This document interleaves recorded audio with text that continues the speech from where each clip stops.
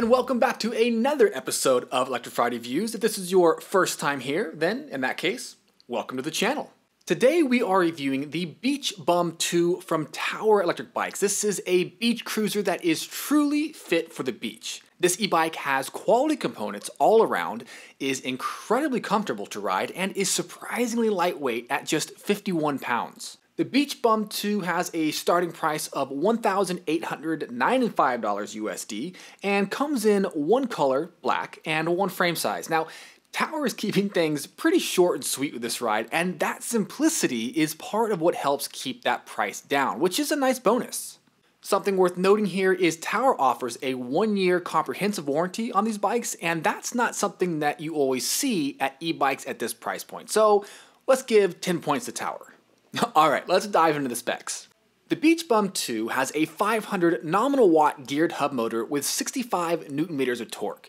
And this motor configuration is kind of in the Goldilocks zone where it doesn't have so much power that it drains the battery in like 5 minutes, but it doesn't have so little power that it can't make it up hills. With 500 watts and 65 newton meters of torque, you can pretty easily cruise around at the 25 mile per hour top speed with just the throttle. There's no pedaling really necessary, which is nice for those scenic beach routes. But when it does come to really big hills, you're probably going to have to start pedaling if you want to stay at top speed. The drive system here is paired with a cadence sensor, which does have some latency with motor activation and deactivation, but since you've got the throttle on the Beach Bum 2 and also motor inhibitors on the brakes, you can overcome that pretty easily whenever you need to. The battery on the Beach Bum 2 is a 48 volt 14 amp hour battery with Samsung cells, which is another thing that you don't always see on e-bikes at this price point. Normally, we see something like LG cells, which are great, but generally speaking, you're gonna get a little extra longevity with the Samsung cells. This battery gives the Beach Bum 2 an advertised max range of 60 miles, but let's be honest, real world range is normally about half the advertised range. Still, now during our testing, we rode around for around 15 miles or so on the max pedal assist setting and really didn't pedal a whole lot, and the battery indicator barely moved, so that's a really good sign. The battery is locking and removable and is located behind the seat post. And I really like this location because it just looks cleaner compared to having it in front of the seat post, which is normally where they are. On the other hand, it does shift the weight a bit more towards the back of the Beach Bum 2, which does make this bike a little unbalanced when you're trying to carry it around. Speaking of carrying it around, the Beach Bum 2 weighs in at just 51 pounds, but still has a max carry capacity of 350 pounds. Now that's impressive, and I immediately could feel the difference compared to heavier e-bikes when I picked this one up. You can see the extra gusset forking down from the top tube and this gives the frame some added strength and stiffness and it also helps to reduce frame flex when you're at higher speeds. Now there is no suspension on the Beach Bum 2 so it's a bit of a stiff ride. If you wanted to smooth it out though, you could grab an aftermarket seat post suspension for under 100 bucks and those work surprisingly well. The tires on the Beach Bum 2 are honestly just awesome. The Schwalbe Fat Franks have K-Guard puncture protection and slime. So if you're able to get a flat on this bike, let's just say it was well earned.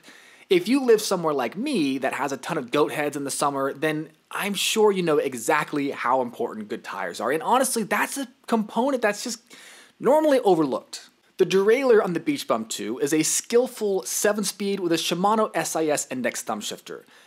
This is the first time we've tested a skillful derailleur, and I'm happy to say it's pretty snappy. Even better though, Tower got the gearing right on this bike, and pedaling at 25 miles per hour in top gear feels absolutely perfect.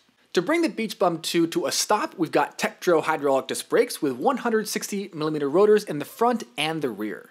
These brakes offer ample stopping power, especially with the Schwalbe tires, and there's also motor inhibitors built into the brake levers, which helps ensure you have the shortest possible stopping distance. That's a great safety feature, especially with a bike like this that goes 25 miles per hour and has a cadence sensor.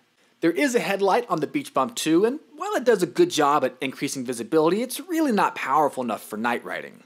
Wire management is great with everything bundled nicely and wrapped in plastic, which as you guys know, we absolutely love, and most of the wires are internally routed. The display on the Beach Bum 2 is on the left side of the handlebars and is easy to read even in direct sunlight. It's a grayscale LCD with not a lot of information, but it gets the job done.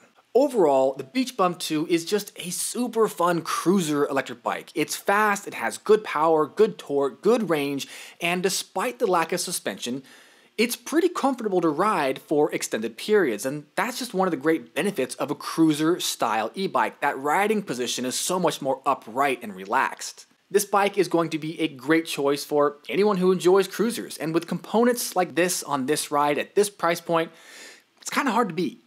Alright awesome peeps, that is it for the review of the Beach Bum 2. Now let's take it out for a ride.